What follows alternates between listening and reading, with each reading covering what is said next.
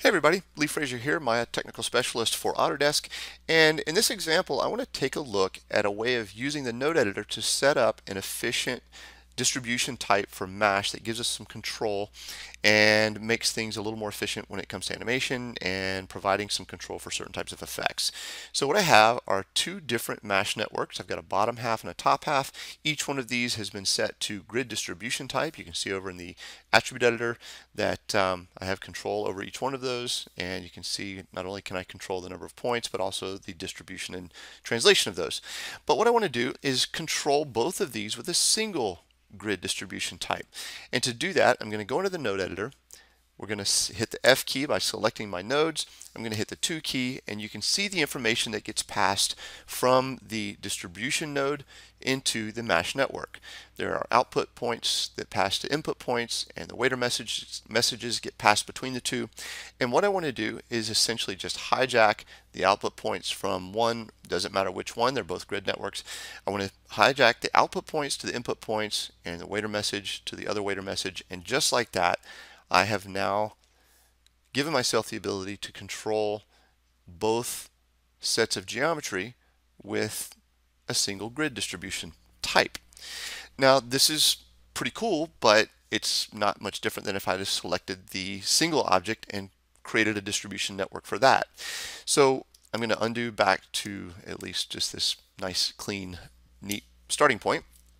And what this allows me to do though is control this top half with separate nodes from the bottom half but still maintain the distribution in terms of the number of points and the distance away from each other from the bottom half or any other uh, node that I happen to want to pass along to both sections or both networks.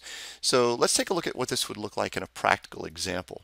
So if I take my bottom half and go into my repro mesh, a lot of times you've heard me mention that I tend to use simple geometry for prototyping and then I use the final geometry in the example itself. So here I'm going to take my bottom half, I'm going to take my body and middle mouse button drag the geometry that I have hidden in the scene on top of that line here and you can see that's going to replace that and then I'm going to select my top half and go from that distribution uh, or that top half repro mesh and drag the helmet on top of that line and you can see I've created myself a little bit of a problem. Again, I still have control over the grid distribution type, but now I want separate control over the helmet in order to put it in the correct, location because it wasn't when it was brought into the scene. So if I select my top half and I go to my waiter node, I can click on the offset node and then just quickly type in a value in the Y direction, maybe pull that up just a little bit more, and then type in maybe an offset scale just to sort of accentuate that uh, bobblehead effect. And now I can I can do lots of things.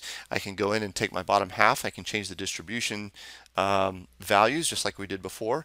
But I might want to, prior to doing that, since this is pretty heavy geometry, one thing that MASH lets you do is go into the utilities and change the instance type or the geometry type.